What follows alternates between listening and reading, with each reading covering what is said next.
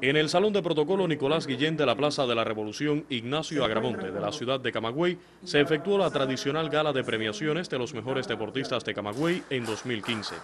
El boxeador Julio César La Cruz, campeón mundial este año en Doha, Qatar y titular panamericano en Toronto, fue seleccionado como mejor atleta de Cuba y compartió esta distinción, pero en su provincia, con la corredora Rosemary Almanza. Estoy muy contento ya que mi pueblo y, la autoridad de mi provincia reconocen todo el esfuerzo que, que he alcanzado y he realizado en este año. Esto significa mucho para mí ya que a esta provincia me debo y y todos mis logros y todos mis resultados y, todo lo que pude alcanzar hasta el momento va dedicado a,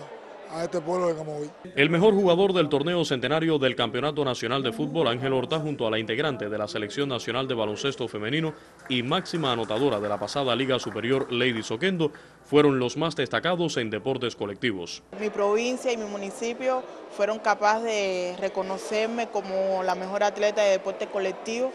en la provincia una vez más. Le doy las gracias a todo mi sacrificio, a todo mi empeño, lo que hago a diario, que es lo que me gusta, el baloncesto y bueno, y pienso que el año que viene voy a seguir siendo la mejor atleta de deportes colectivos. El pugilista Joanis Argilagos, titular del Orbe en la cita catarí y medallista de plata panamericano en Toronto, repitió también la condición de novato del año alcanzada a nivel nacional y el mejor juvenil de Cuba, el boxeador Dainier Peró, campeón mundial de su categoría en San Petersburgo, Rusia, mereció ese mismo premio en su tierra natal. En la gala también se reconoció a los 10 atletas más destacados del territorio así como al boxeo, ganador por quinta ocasión consecutiva del Playa Girón como el deporte individual, y al fútbol entre las disciplinas colectivas, cuya selección de primera categoría ganadora del campeonato nacional fue el equipo del año.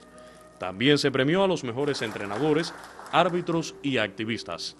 En Camagüey, Luis Eduardo Quiñones Sánchez, Noticiero Nacional Deportivo.